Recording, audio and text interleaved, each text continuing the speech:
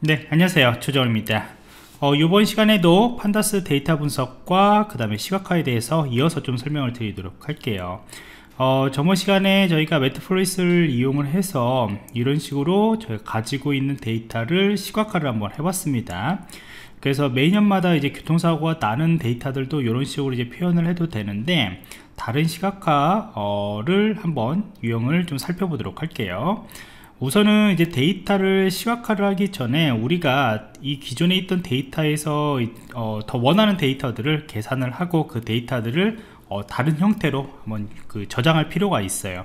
그래야만이 후에도 그 데이터를 가지고 또 사용을 할 가능성이 높기 때문에 어, 그 다른 데이터 형태로 우선 저장하는 방법부터 살펴보고 뒤에 이어서 하도록 할게요 어, 우선은 이제 데이터를 이제 초기화 작업을 했습니다. 전번 시간에 저희가 데이터라고 하는 거에다가 다른 것을 넣는 바람에 다시 초기화를 하는 작업들을 했고요. 기존에 올렸던 데이터를 이제 가져오는 거죠. read CSV 함수를 이용해서 어, 저희가 데이터를 가져왔습니다. 자, 그 다음에 이제 데이터 정보들을 한번 어, 이렇게 확인하는 과정이고요. 어, 그 다음에 이제 아래 보시면은 데이터 2에다가 이제 데이터에 있는 값을 저희가 저장을 한다고 얘기를 했습니다. 기존 데이터들을 또 변형을 시켜버리면 안 되기 때문에 어, 여기다가 데이터를 전체를 카피를 하고요. 그 다음에 이제 데이터 정보들을 이제 확인을 하게 되는 거죠. 그래서 사실 이게 데이터 2의 이제 헤드 정보들을 이제 보게 되는 거죠. 어, 이렇게 정보들을 한번 확인을 했습니다. 그러면 앞에서 다뤘던 그 데이터이고요. 자 그러면 이제 데이터 2라고 하는 곳에다가 저희가 이제 계산을 합니다. 기존에는 여기다가 하나를 그냥 추가를 했어요. 임의적으로 이제 이상 뭐 여부 뭐 그런 식으로 해서 이게 체크로 해가지고 저희가 하나를 추가를 했는데 이 데이터 말고 이 앞에 있던 기존에 있는 데이터에서 우리가 원하는 데이터들을 뭔가 이제 통계를 또 내고 싶어요. 그래서 어떻게 했냐면은 중산자 수 이상 여기서 사망자 수하고 중상자 수가 있는데 어, 이분들이 이제 관리를 잘 해주셔야 하잖아요. 그래서 이 통계를 이제 합하고 싶어요. 음, 그 합한 값들을 좀 출력을 하고 싶은 거예요. 그래서 데이터 2에서 요 데이, 이 column 정보들은 새로 만드는 것이고요. 그 다음에 이제 사망자 수하고 중상자 수를 더한 값들을 여기다 이제 넣어 줄 겁니다. 그 다음에 이제 두 번째는 뭐냐면은 사고 대비 이제 사망자. 어, 여기 보시면은 이제 사고 건수가 있잖아요. 이 사고 건수 대비 이제 사망자 수가 비율이 어느 정도 되는가 그래서 사고 건수에서 사망자 수를 나눈 다음에 거기다 이제 곱하기 100을 해주시면은 여러분들 이제 퍼센테이지가 나오겠죠? 그래서 이 두 개의 데이터를 이제 기존에 있던 데이터에다가 합해 가지고 이제 그 표현을 하는 겁니다. 그래서 데이터 2 정보들을 한번 출력을 해 보시면은 우리가 계산한 값이 나옵니다. 그래서 중상자 수 같은 경우에는 사망자 수하고 중상자 수 사상자 수 같은 경우는 여기서 이 두 개가 더한 값이 이 더한 값이 이쪽으로 이제 들어가게 되는 거죠. 또 우리가 이제 엑셀에서 뭐 sum을 하시던 더하기를 하셔가지고 표현한 거하고 똑같다고 생각하시면 돼요. 네, 이제 Python으로는 이렇게 어, 우리가 Pandas DataFrame으로 간단하게 음, 우리가 이것을 데이터를 더할 수 있다. 음, 여러분들이 배우시면 되고요 그 다음에 이제 사고 대비 사망자입니다. 이것도 여기 계산한 값들을 이렇게 더했습니다.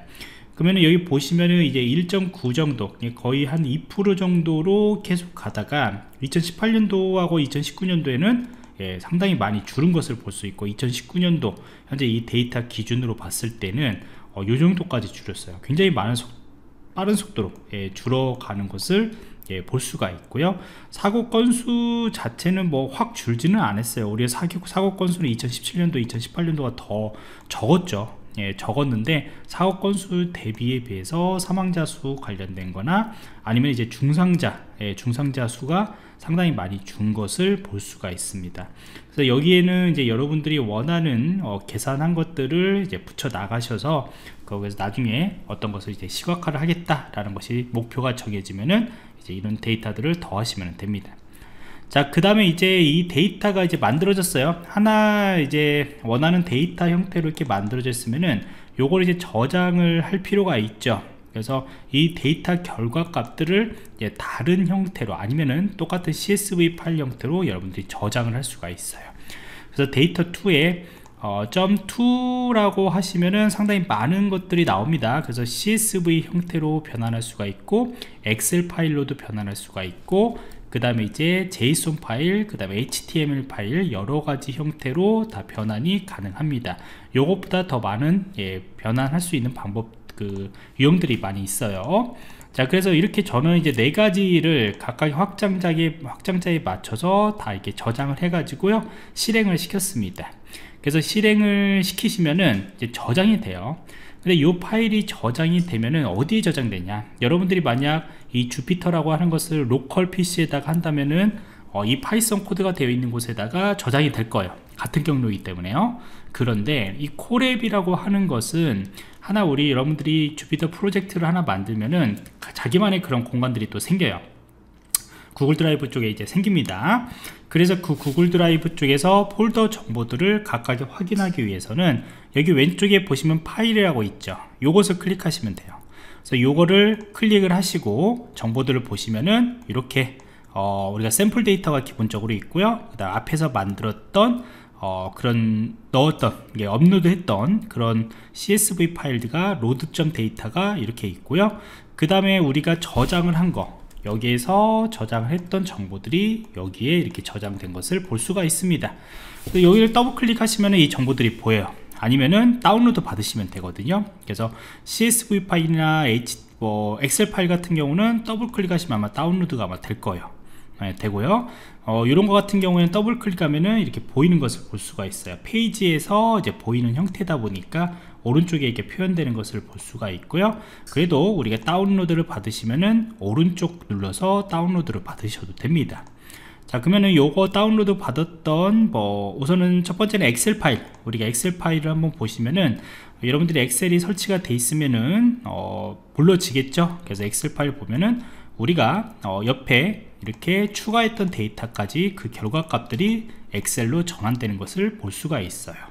물론 파이썬에서 엑셀들을 제어하는 여러가지 또 어, 라이브러리들이 있습니다. 근데 요거는 우리가 이제 판다스로 결과 나온 것을 단지 이것을 다른 형태로 저장한 것 뿐이다. 이렇게 생각하시면 되고요.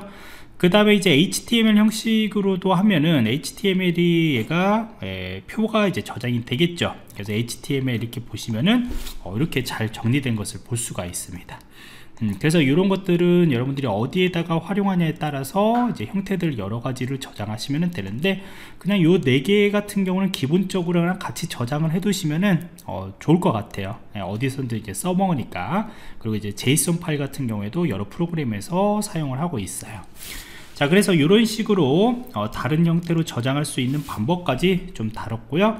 자 그 다음에 하나 우리가 시각화를 하기 전에 저는 개인적으로 인덱스 값들을 좀 한글로 이렇게 바꿨습니다. 뭐 물론 이제 2015년도 2016년도 6월 발생 연도를 인덱스 값으로 하셔도 괜찮은데 뭐 이렇게 한글을 좀 여러분들 그 나중에 matplotlib을 이용을 해서 한글로 또 처리하는 방법을 좀 다루기 위해서 저 같은 경우 인덱스를 좀 바꿨어요. 그래서 2015년도 2016년도 이렇게 해서 이렇게 앞에 저희 인덱스 값들을 바꾼 것을 볼 수가 있습니다. 자 그러면 이제 우리가 원하는 데이터 형태로 다 만들어졌다고 생각을 하시면은 여기서부터 이제 앞에서 배웠던 시각화를 진행을 하시면 되겠죠 시각화를 할 겁니다. 자 그런데 우리가 앞에서 배운 대로 시각화를 한번 해볼 거예요. 자 그러면 다른 방법으로 좀 우리가 접근을 하도록 할 겁니다. 앞에는 이제 매트폴리스는 그냥 이렇게 정의하는 것 똑같고요. 여기까지는 똑같습니다. 그 다음에 이제 데이터에 있는 사망자 수 데이터에 있는 사망자 수라면은 여기죠. 요 데이터를 기준으로 우리가 어, 이것을 그래프를 예, 생성을 할 겁니다 뭐 여러 가지를 여러분들이 생성을 뭐 가져가지고 데이터를 분석하셔도 됩니다. 그 다음에 이제 인덱스 값은 어차피 요거이기 때문에 요 인덱스 값 기준으로 요 데이터를 가져와서 이제 표현이 될 거예요. 자 표현이 될 겁니다. 그래서 앞에서는 뭐 여러 가지로 이렇게 몇 개를 단계별로 해 가지고 나중에는 저희가 plot을 보여줬는데 어, 그래프를 보여줬죠. 근데 이번에는 한 줄로 저희가 예, 표현을 했어요 자 그래서 데이터에 있는 사망자 수 기준으로 저희가 plot으로 데이터를 이제 가져올 거고요. 어, kind는 이제 bar입니다. bar 형태. 저희가 어, 네모칸이죠. 네모칸 바 형태로 이렇게 가져올 것이고요. 그 다음에 이제 grid가 True라고 하는 것은 지금 아래 결과들을 보시면은 이렇게 선이 있죠. True 되어 있는 것이고요. 그 다음에 이제 어, figure size figure size 같은 경우는 15 그냥 기본적인 형태를 좀 사용을 할 겁니다 그 다음에 이제 이것을 예, 보여주라고 하면은 이렇게 그래프로 예, 보여주는 것을 볼 수가 있어요. 그래프로 보여주면은 이제 2015년도부터 2019년도까지 예, 여러분들이 한눈에 예, 볼수 있도록 많이 줄어들었다 라고 보시면 되고요. 어 요게 이제 2019년도가 이제 아래쪽으로 나오게 하려면은 이제 그 차순 정렬을 좀 반대로 해주시면 되겠죠? 자 그래서 여기까지 이렇게 표현이 됐는데 하나 좀 문제가 이제 발생을 했습니다. 어떤 문제냐면은 어 요거요. 인덱스 값이 지금 현재 한글로 이렇게 지정을 한 것이 있는데 요 한글 같은 경우를 나중에 이제 표현하고 싶을 때는 이렇게 깨집니다. 예, 그래서 기본적으로 요 한글들이 이제 코랩 쪽에서는 못 가져와요 이렇게 한글 표현하는 것이요. 그래서 이 데이터들을 이렇게 한글로 이제 표현돼요. 이거는 UTF-8 형식으로 가져오는 건데 요거하고 또 그래프하고 또 지원되는 것들은 서로 좀 다릅니다. 그래서 이것을 못 가져오기 때문에 우리가 코랩에서는 이제 한글 글꼴 보통 이제 나눔이나 뭐 이런 것들 많이 사용하잖아요. 그래서 그 나눔 글꼴이나 이제 여러 가지 한글에서 사용하고 있는 그런 글꼴을 설치를 하고 그거를 이제 가져와야 하는 겁니다 자 그래서 여기까지는 우선 우리가 여러분들이 선으로 표현해 주셔도 되고요. 이런 바 형태로 표현해 주셔도 되고요. 우선 복습을 한번 해보시고 다음 시간에 이렇게 한글로 처리하는 방법들 쉽게 처리할 수 있는 방법을 이제 설명을 할 겁니다. 자 그래서 여기까지 우리가 어, 원하는 데이터로 만들고 다른 형태로 저장하는 방법 그 다음에 이제 그래프로 한 줄로 표현하는 방법들을 배웠습니다